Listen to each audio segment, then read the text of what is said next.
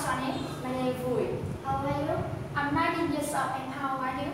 I'm Shavit Yao. 17 years old. Oh, you are you younger than me. Where are you from? I'm from Hung Yen. Are you from Hung Yen too? No, I'm from London, Greece. Oh, no, no, it's so far from Hung Yen. How are you today? I'm fine, fine. And you? I'm well. Thank you.